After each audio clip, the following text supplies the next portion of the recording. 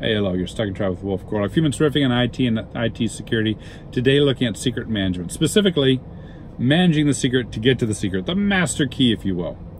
Oftentimes, when we're looking at any aspect of security, you can pull out a lot of fundamental truths about it. Um, and secret management is is no different. We've struggled for a long time to distribute passwords and have instances, right? Of applications, of services, of processes, of databases, authenticating the other instances, and doing that in a secure way such that an attacker can't just simply look at the config and go, oh, there's my password, I'm good.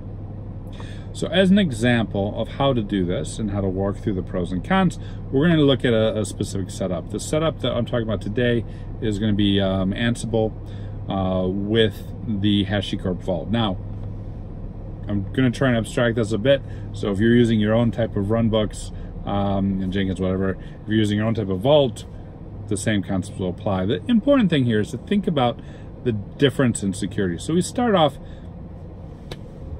immature. We put the password into the Ansible config file. Pros, very little setup. Ansible is meant to do that. It's easy.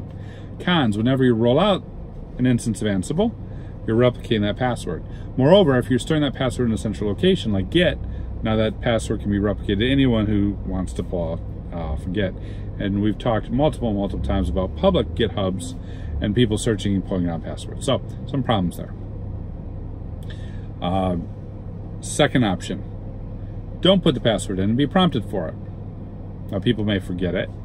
You got people sharing passwords now. That's never a good thing. Uh, they'll probably write it down because that's human nature. That's never a good thing. People are going to leave and you have to rotate the password. That's never a good thing. So you can add a little bit more complexity to this option by using something like a password manager, like um, Dashlane or LastPass. So the administrators pull that password down, they throw it into Ansible. When you push Ansible out, Ansible uses that password to spin up around the runbook and talk to the vault. All right. Uh, now, still in the lines of passwords, what if we were to use something like LDAP? All right, so in this case, we would spin up a virtual machine. Virtual machine would connect over LDAP, and then Ansible will be deployed on it. Ansible would use that LDAP token to authenticate to the vault. Could work, could work. Now we no longer have to worry about you know, a password being entered in by the user, so it's not manual, that's good. We no longer have to worry about a password being replicated by file, that's good. Um, however, how do we get the LDAP password in place? So there's still some challenges to think about there. We've moved the problem, that, that secret, out of channel, excellent, but we still have a, a problem to solve in terms of how we seed it in in the first place.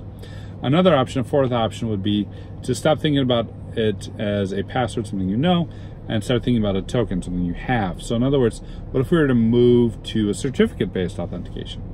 In this case, you'd spin up a virtual machine. The virtual machine go goes hot.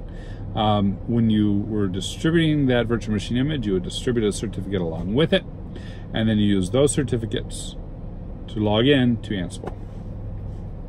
Now, there's still the concern about, well, what if someone steals the passwords or the, the certificates? You'd want to use something like, uh, you know, put in the key store and use all the Linux protections around certificates.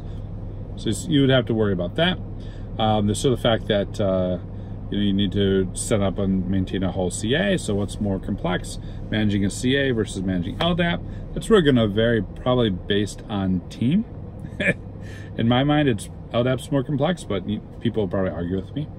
And then really the key thing is we went from having a password that was distributing clear text to having a password that was not, that was encrypted or in our memory, to having a password that was encrypted and protected and using an authentication mechanism as opposed to using a password to directly connect to having a token that we could access and pass around that way. And each one of these steps um, has varying degrees of protection from clear text uh, all the way to certificates or that, uh, and has varying degrees of complexity. And so when you start looking at initial secret distribution, you got to start weighing those pros and cons and figuring out what the best solution is for your environment and for the way that uh, your applications work. Uh, what do you guys think? Did I miss anything in this conversation? Hit me up in comments or social media. If you're doing secure initial secret distribution too, love to hear about it. Cheers.